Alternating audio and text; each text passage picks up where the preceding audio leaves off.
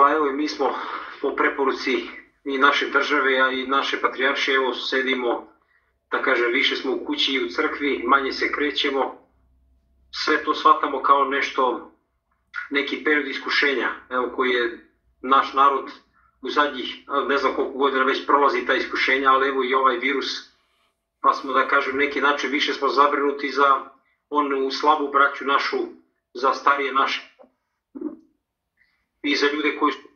zdravlja. Pa tako ljudima da poštuju te i mi sveštenici nekoliko, mi koliko se trudimo da poštujemo takođe. Sedimo kod kuće, sveli smo na minimum e, naš e, parokijski život, tako da se okrenjemo molitvi e,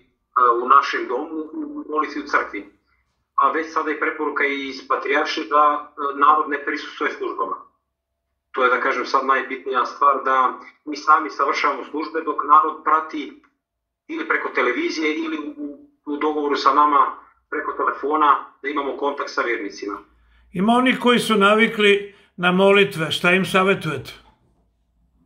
Pa oni koji su zaista vjernici, njima savjetujemo da ostanu kod kuće da mm, ispunjavaju svoje molitveno pravilo. Oni koji su baš vjernici, oni znaju šta je to. E, čitanje jutarnjih i večernjih molitvi. Takođe oni koji postoje i koji se spremaju za pričešće, njima savjetujemo da mogu nedeljom da upotrebe osvećenu vodicu, bogojavljensku, ili vodicu, ako imaju svetu vodicu, da u nju upotrebe umesto pričešća, a u izražitim slučajevima gde su stari vernici koji zaista žele da se pričesti ili neko ko je bolestan, mi možemo po pozivu hitno u dogovoru, naravno da primjenimo neke mere zaštite, da dođemo i da pričestimo neko ko želi, ali to je samo, da kažem, nekim izuzetnim slučajevima, to nije pravilo sad da idemo od kuće do kuće da pričešćemo ljude, ali čisto savjet je da ljudi se okrenu molitvi ličnoj, jer to jeste jedno krilo, e, kao jedno pućno krilo je molitva lična, a drugo krilo je molitva zajednička u crkvi. Da. Recite mi, e, vaše obrade, liturgije, sve to e, ide, ali bez prisutnih, je li tako? Da, od, od dana smo uveli da mi služimo sami službe, imamo svakog dana, mada je radno vreme crkve iskraćeno, 8 časova ovde u Tijevarskoj crkvi imamo jutarnju, a u 15 časova večernju službu bez prisustva vernika. Naravno, crkva je otvorena do 16 časova i vernici mogu da uđu, državajući se ovih uredbi, na ostojanju da ulaze, mogu da uđu u crkvu, da zapali sveću, da kupe tamjan, da se pomole, ali eto, mi savjetujemo da se ne, okup, da se ne okupljuju nekom većem broju, znači to u ovo vreme sada. Da. Dolazi veliki praznik, Vaskrs. Pa u susret Vaskrsu mi ćemo sačekat ćemo odluke do tada našeg sinoda i našeg patrijarha,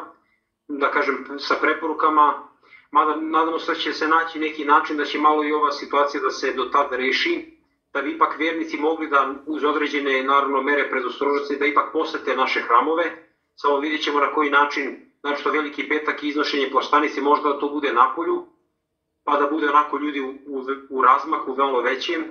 da dolaze, da se bar poklone, ako bar ne celivaju, da bar se poklone pred plaštanicom i da se provuku kao što je ovde običaj u Pirotu, a za Vaskrs ipak i da uz mere predostrožnosti da bude ipak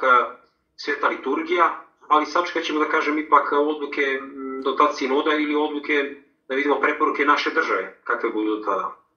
Recite mi, s obzirom na to da ima interesovanja, šta je sa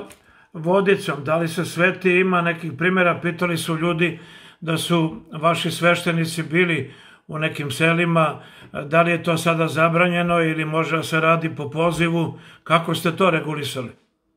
Pa vodice su po preporuci iz, iz naše parhije su otkazane, to jeste e, bit će svećenje vode odloženo za sledeći post, to je za, u vreme Petrovskog posta, tako da je preporuka da sveštenici ne idu, međutim e, opet ne možemo da zabranimo neko ako zaista neko želi da mu se sveti vodica, on može baš izrazito da pozove sveštenika, mada opet to ne može da bude pravilo, jer onda će i drugi da kažu pa oče bili ste kod njih, a kod nas niste bili. E sad, ako je sad neko sveštenika išao možda i,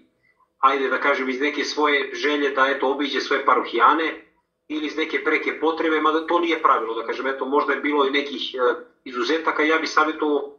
i da, da ipak se svi predržavamo odluka, i naše eparhije, a i naše države, da ipak se vernici strpe, da ništa neće izgubiti oni mnogo ako se malo povuku, da kažem, iz tog crkvenog života, da bi on se posle pokazao još u većoj meri, ali sad svedoci smo da ima ljudi koji sad bi, baš sad bi hteli da postoje, da se pričeste, da se ispovede, možda da prime sveštenika, jer ova situacija tako deluje na njih da oni traže neku utehu, traže na neki način tražimo i Boga u ovoj situaciji. Tako da možda ne treba zameriti ljudima, možda bi oni hteli zaista, ali sveštenicima koji su revnosni, možda zaista žele, ali ja kažem zbog onog slabog brata koji se plaši, ne treba da mi izazivamo i da iskušavamo gospoda, pa zato bi ja savjetuo sve ljude da se strpe na neki način i da ipak poštujemo sve odluke